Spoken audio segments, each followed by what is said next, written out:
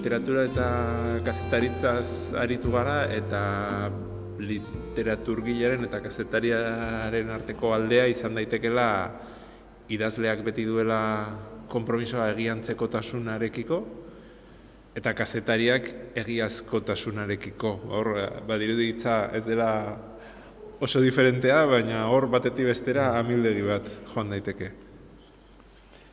Bai, eta biak, bai kasetaritza eta baita literatura ere hizkuntzarekin ari direnez, e, biak punturen batean literatura ere badira, sorkuntza ere badira neurrian, eta badira baita ere desberdinak e, nolabait batek egiantzatasuna esan dezuzuk eta batek errealitatea gertatzen dana eguneroko hori duelako eta gerta litekeena edo gura bera difusoago batean e, lan egiten du literaturak eta bi horiek lirateke.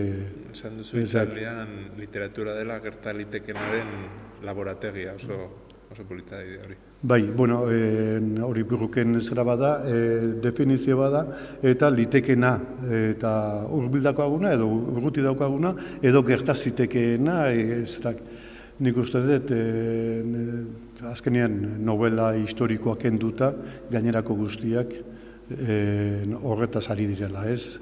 E, mundu bat ez dana, oraindik, baina izan litekenez.